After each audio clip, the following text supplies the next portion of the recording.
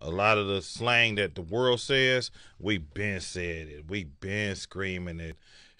They soak it up like a beach towel. And your favorite rapper get a hold to it and they don't know it's right from right here. Mm-hmm. Plug. Plug. First rapper screaming plug. Who got the plug? Who got the plug? Okay. Calling um rims and tires, calling them socks, shoes, tippy toes. That's right. All Socks, that. You shoes, understand me? tip- Buttons, whatever. You Okay. understand me? Okay. Droughts. Talking about drought season. The first one talking about a drought. Wasn't nobody even talking about no droughts. The real, the real, nobody wasn't talking about 92 's gumbo pots and triple beam scales and choppers.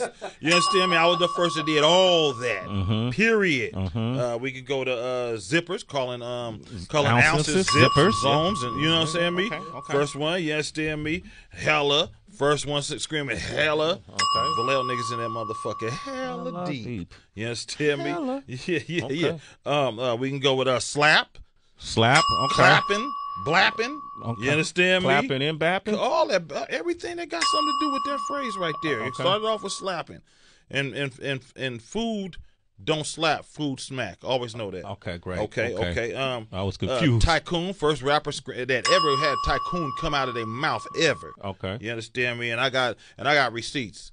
You understand me? Popo. Popo. Here come Outsmart Popo. the Popos. Mm-hmm. That's 1992. Uh, the uh, what else I say? Um, paper route. Call you know all about my paper route. You Yeah. understand me? All about getting paper. You understand me on my route to you understand me the revenues. You know what I'm Mhm. saying? They say that in Harlem. Do the Troy they say that in Harlem? Federal. Federal. Federal. Uh-huh. Federal on the streets. We when we said federal on the streets, that meant like.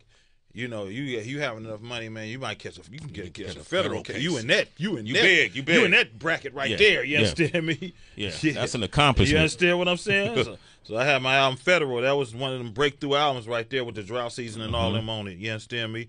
Broccoli. Got me a baggie full of broccoli and Mm-hmm. the crooked eyes 22.